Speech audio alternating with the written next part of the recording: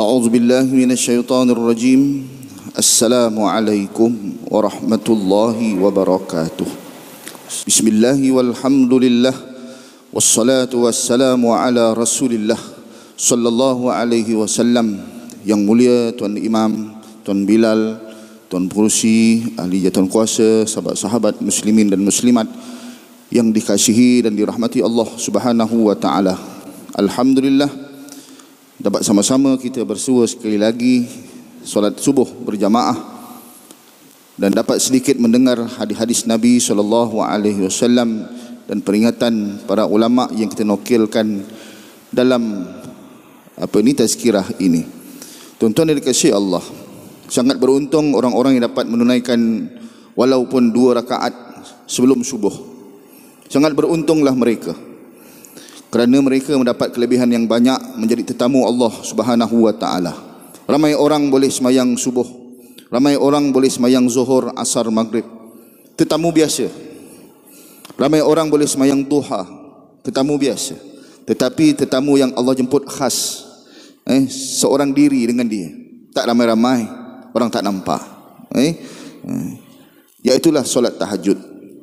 Hanya dua rakaat sebelum subuh mudah-mudahan kita tergolong daripada golongan-golongan walaupun bukan ahli tahajud tapi pernah buat tahajud pun jadilah. Eh. nak dapat ahli tahajud eh, hebat-hebat ni eh. satu hari lapan rakaat penuh malam tak apa dah. Eh, kita buat jadi pernah buat seminggu sekali alhamdulillah. Tuan-tuan dikasihi Allah.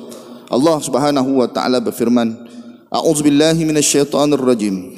Tatajafa junubuhum 'anil madaji'i yad'una rabbahum khaufan wa tama'a yang saya nak sebutkan pada hari ini ialah orang di antara sifat orang tahajud ini yang dia buat di malam hari itu ialah mereka mengasingkan diri mereka berkata iaitu meski solat tahajud mereka berdoa kepada Allah. Yad'una rabbahum mereka berdoa kepada Allah khaufan wa tama'a khaufan ni dengan penuh rasa takut dengan api neraka Allah Subhanahu wa taala. Penuh rasa takut bukan rasa bangga. Oh hebat aku. Bukan bukan. Rasa takut dengan api neraka. Bangun. Tapi ni nak dapat bukan sekali dua tahajud. Mungkin sekali tahajud sifatnya lain dalam hati. Oh hebat aku. Hebat. Semua tidur. Oh teruk. Bini tidur, oh main keturunan tidur semua tu. Oh. Eh? Jadi yang kedua, apa khaufan? Itu orang yang rasa takut sungguh kepada Allah Subhanahu Wa Taala, takut tak dapat rahmat, takut api neraka Allah. Yang keduanya tama'ah, nak sangat akan kelebihan Allah. Harap sangat. Apa dia? Harap sangat rahmat Allah, harap sangat syurga Allah. Dia mengharap sangat tamak, tamak ni tamak orang Melayu cakap. Dia nak sangat. Nak banyak, nak banyak. Sikit tak nak.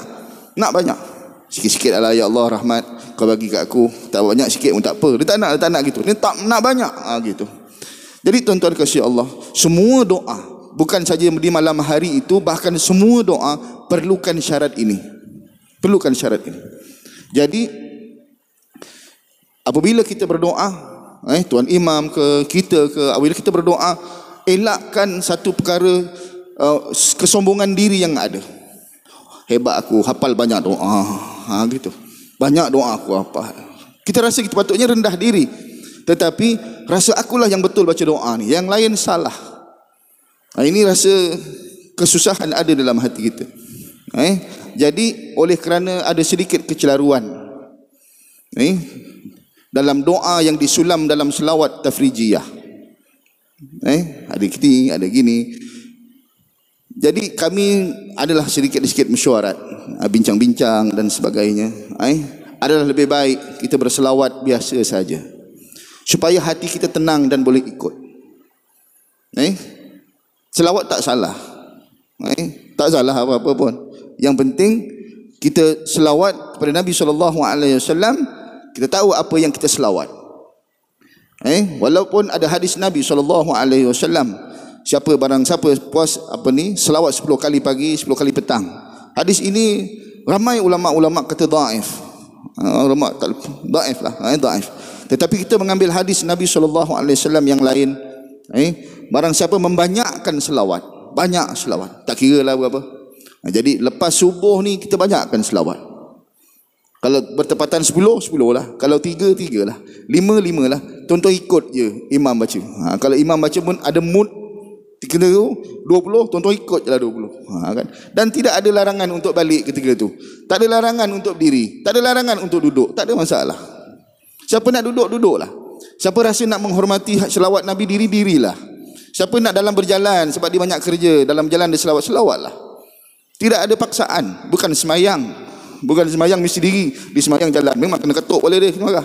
Ini selawat tak ada masalah. Eh, jangan kita terlampau apa ni uh, berkeras tentang benda ini. Jadi kita selawat biasa. Siapa tak hafal selawat yang saya baca ni?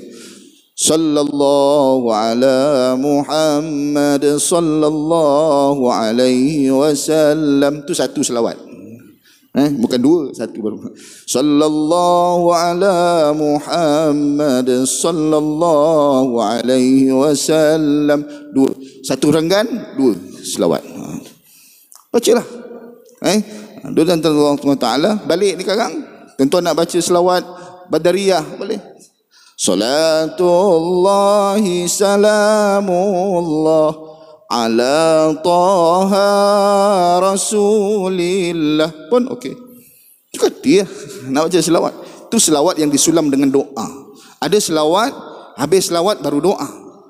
Tapi ulama-ulama dulu memang dia kaki selawat dia mengarang selawat seronok. Macam kita lah kalau kaki ni agak apa lagi aku nak buat? Apa lagi aku nak buat? Apa lagi aku nak buat? Macam tu. Cikgu macam saya mengajar apa lagi aku nak buat apa plan lain plan lain sebab saya kecenderungan ke situ entahlah Begitulah juga ahli selawat. Dia cenderung apa lagi nak doa? Apa lagi nak doa? Apa lagi nak doa? Supaya orang di belakang mereka ikut macam dia. Jadi tak ada masalah. Eh? Ha, jadi mudah-mudahan esok pagi kita ada Dr. Azman Mohsin. InsyaAllah akan berkuliah subuh. Eh? Dia dekan uh, Marsah sekarang ni. Eh? Apa, de, apa saya pun tak, tak ingat ada punya jawatan ni. Tapi dia Marsah lah. Eh? Dekan apa ni, College Marsah tu saya jemput mereka, uh, beliau untuk meng, memberikan sedikit kuliah subuh memberi penerangan lanjut tentang perkara ini mudah-mudahan Allah Subhanahu wa taala memberikan kebaikan kepada kita beramal untuk rendah diri pada Allah dekat pada Allah bukan untuk aku hebat aku tak hebat kau salah aku tak tak eh, jangan tak ada khaufan wa tama'ah yang kita nak khaufan wa tama'ah eh, jadi mudah-mudahan diberkati Allah semuanya Allahu a'lam bisawab. Esok jangan tak kuliah subuh. Ha, apa datang kuliah subuh oleh Dr. Azman Mohsin insyaallah taala. Aku qauli hadza wa astaghfirullahal azim. Assalamualaikum warahmatullahi wabarakatuh.